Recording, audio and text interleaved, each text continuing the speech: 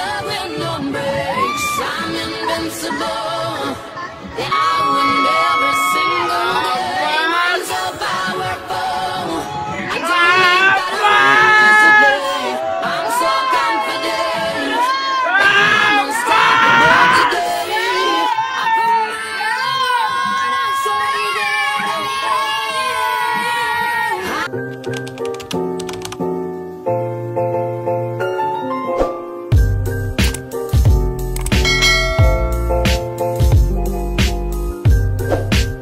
Good afternoon mga kamaster, di muna tayo magpipishing kasi may laban si Kamaster Toto. Manonood muna tayo ngayon.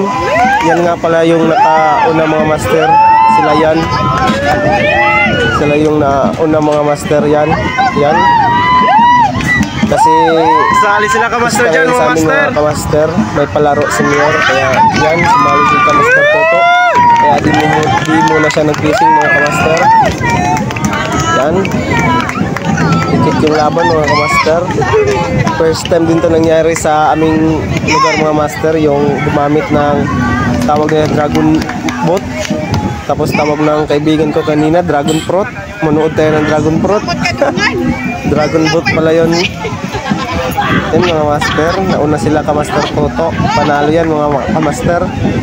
Pasensya na rin kayo sa camera mga master, medyo blurred kasi wala pa tayong GoPro. Wala pa rin tayong pangbili ng iPhone kaya pagtiisan muna natin to. Panalo sila ka master.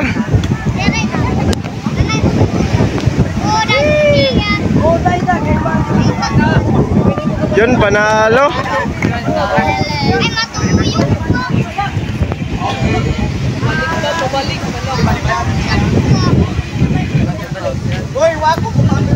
Tara, tara. Hindi siya ante siguro.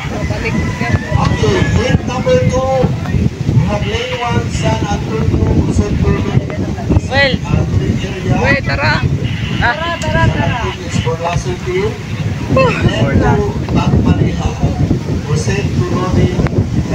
A few moments later. Iba na naman yung kalaban nila mga master oh. Yan. Yun na sila ka master.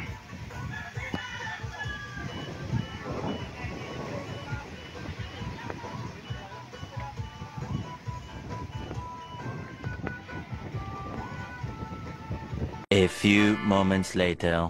Kailangan talaga paliguan mga kamaster kasi para safe bago pumunta doon sumakay sa bangka para iwas disgrasya. Siniguro talaga ni Mayor ang kaligtasan ng mga player, mga kamaster. Pangkain Ganyan to, kabait si. Mayor. Kaya goods na goods para sa amin mga kamaster.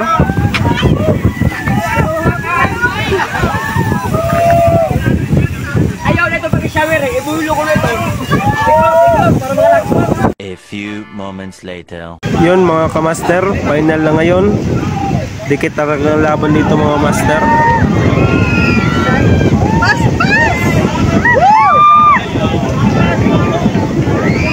Dito na part mga kamaster, kala ko talo na kasi nasa hulihan sila. Nawalan na talaga kaming pag-asa dito mga kamaster. Pero, pero sabi nga nila, hanggat di pa tapos ang laban, kaya pa ipanalo mga kamaster. Dito na part mga kamaster, naghiyawan na kami kasi yung manok namin lumalaban talaga. Pili talaga nila nilalaban yung laro mga kamaster.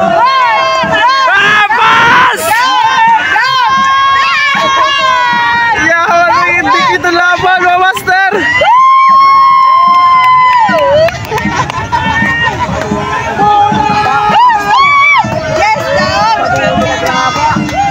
Dito na part mga kamaster, nauna na yung mga manok natin.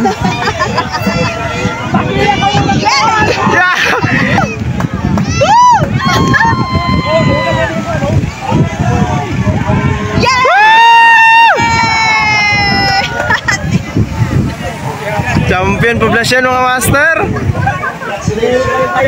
Easy 10k mga kamaster. Champion sila ka master. Yan si ka master oh.